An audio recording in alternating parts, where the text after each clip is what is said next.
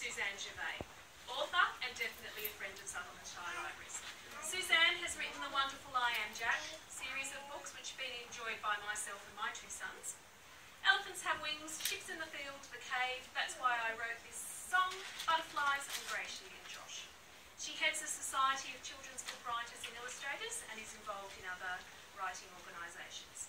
Susanne is also passionate about encouraging and promoting her fellow authors and it is lovely to see quite a few authors here today. So thank you for visiting Shire Libraries today.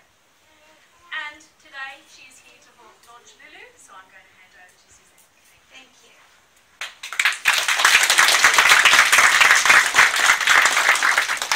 Well, thank, firstly, I'm going to say it is great honour to launch this book, Georgie. And it's always wonderful when there's new energy in the children's book industry. And let me tell you, this Georgie is so loved and so much part of the community that we do see amazing authors here supporting her, including Deborah Abela. Put up your hand. Yeah, put up your hand. Sandy Fussell, amazing author. Di Bates, another amazing author. Bill Condon, another amazing author. And where is Annika? Uh, am I blind to this? Emma Cameron. And I know it's Emma Cameron, but I cannot remember her name. I know her real name. Now, that's inside information, children. So Georgie is super, duper loved. Um, and I don't know where she gets the energy. She's someone raising three kids, including the gorgeous Charlotte. Stand up and take a bow.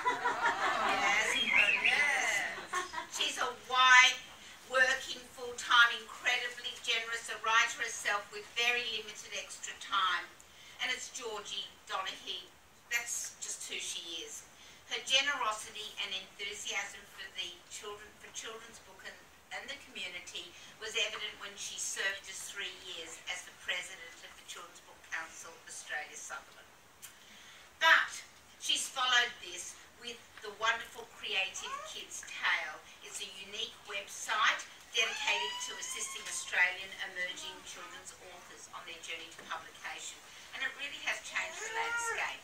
And I'd like to really congratulate you. So many authors and illustrators, it's made a difference in their creative writing life, which can be very difficult. She promotes authors at all stages with book reviews and interviews of established authors and illustrators, as well as a new authors and illustrators. She's providing a place for emerging um, creators to display their work, network with others, find up-to-date publisher information and more. In 1923, she established the Author Show, a radio show where all of us were interviewed. It was fantastic. She even had people like who were nearly as famous as Deb and And Di and everybody else. Someone called Dave Pilkey, he wrote a really ordinary series called Captain Underpants. Does anyone know Captain Underpants? Now, I'm just going to explain, he's nearly as good as we are as Australians, nearly. And she interviewed Jackie French and lots of Andy Griffith and Kate and Deb and everyone. Now, at last, that lasted for a year and we loved it and it's on podcast and we think it's fabulous. But at last, Georgie is focusing on her writing, but still doing everything else. She's won many encouragement awards from the, you know, uh, CYA, and she's actually a speaker at the um,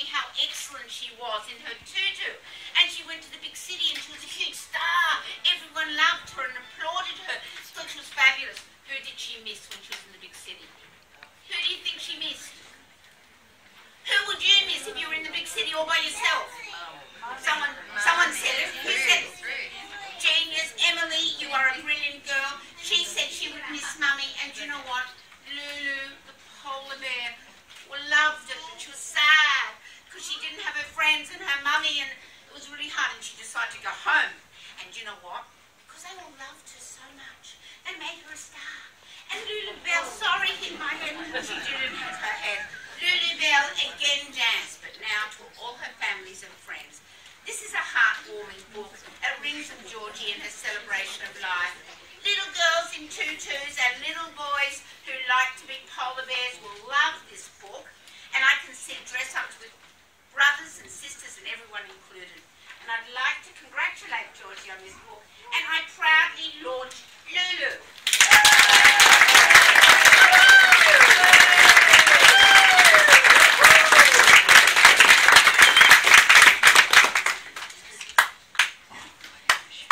What's your name? I